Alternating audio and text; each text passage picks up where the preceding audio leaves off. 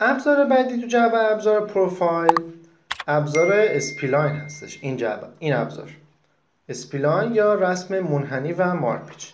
من با استفاده از این ابزار می‌تونم یک منحنی رو ترسیم بکنم. مثل ابزار پروفایل میمونه با این تفاوت که به جای چند خطی منحنیوار در واقع ترسیم می‌کنه پس این هم شد از spline. کافیه که من نقاط رو تغییر بدم تا بتونم در واقع این خطوط در واقع منحنی های spline رو تنظیم بکنم و به شکل دلخواه خودم در بیارم. ابزار بعدی ابزار connect هستش.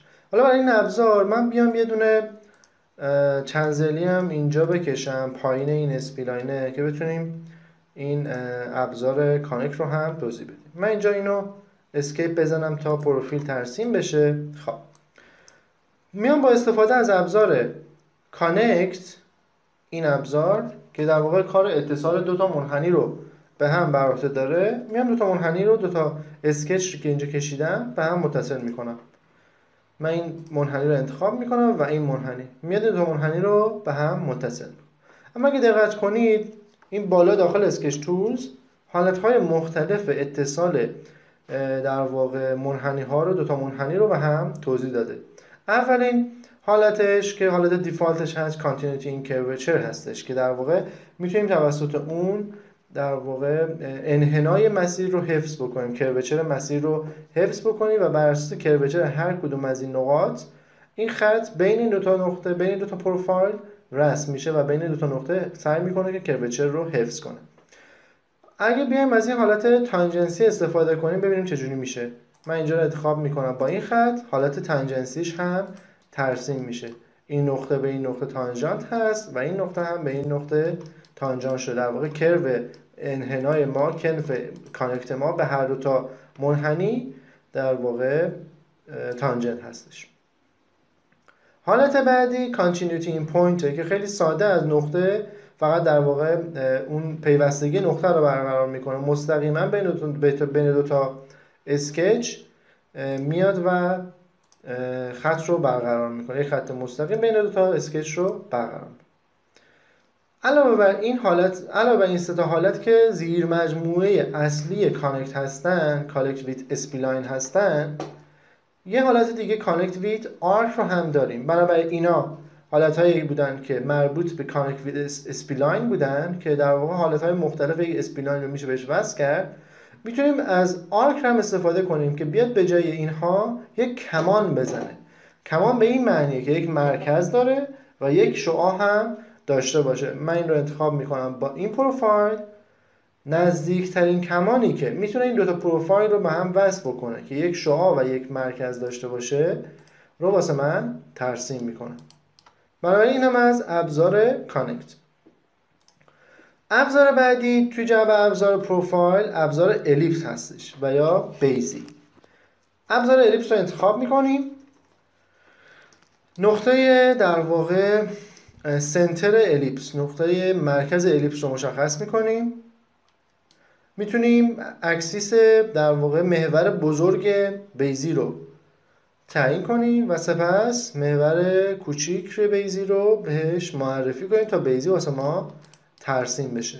اینم از رسم بیزی ابزار بعدی که زیر مجموعه ابزار الیپس هستش دیگر در واقع مقاطع مخروطی رو نشون میده. ابزار اول پارابولا بای فوکس هست. پارابولا به معنی سهموی هستش. یک پروفیل سهموی رو ما ترسیم می‌کنه. خب من این پروفیل سهموی رو اجازه بدید من صفحه یه مقدارش تمیز بکنم. تعداد اسکچ ها کم بشه بتونیم روی در واقع محوره مختصات خوب کار. خب. من میام با استفاده از این پارابولا یک نقطه رو مشخص می‌کنم به عنوان نقطه فوکس در واقع این نمودار. گفتیم که بچه ها هر جا نمی‌دونیم میایم command line رو مطالعه می‌کنیم. گفته نقطه focus رو بگو. نقطه focus میشه نقطه کانونی نقطه محل کانونای این سهموی که تو درس اگر ریاضی دو پاس کرده باشید قطعا باش مواجه شدید یا ریاضیات مهندسی. در ریاضیات دبیرستان. من نقطه focus رو مشخص می‌کنم. به میگه که بگو نقطه قله کجاست. نقطه قله رو هم مشخص می‌کنم. بر اساس محلی که می‌خوام می‌تونم پارابولا رو ترسیم کنم. مثلا می‌خوام از اینجا شروع بشه و تا اینجا ادامه پیدا کنه. پس سهمی که میشه بین این دو تا نقطه نقطه ابتدا انتها با این دو تا مرکز مرکز در واقع فوکس یعنی کانون و مرکز قله رو ترسیم کرد رو میاد واسه من ترسیم می‌کنه. ابزار بعدی ابزار hyperbola هست. ابزار hyperbola هم دقیقا مثل ابزار parabola است و با این تفاوت که در واقع واسه ما چی ترسیم می‌کنه؟ هذلولی ترسیم می‌کنه. focus رو مشخص می‌کنم.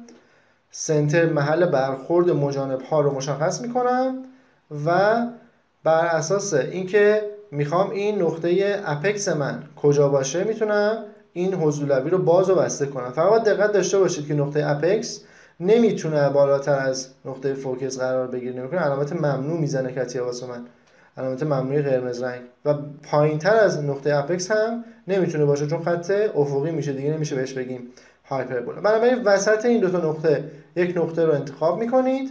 دوباره مثل همون حالت قبلی مثل حالت پارابولا یک نقطه رو از این طرف به عنوان نقطه انتها یک نقطه هم از این سمت به عنوان نقطه انتها رو برای این حضولوی تعیین می‌کنیم و هذلولی ما ترسیم میشه. پس تا اینجا هم ابزارهای مربوط به spline زیر مجموعه spline زیر مجموعه در واقع ellipse یا بیضی رو یاد گرفتیم.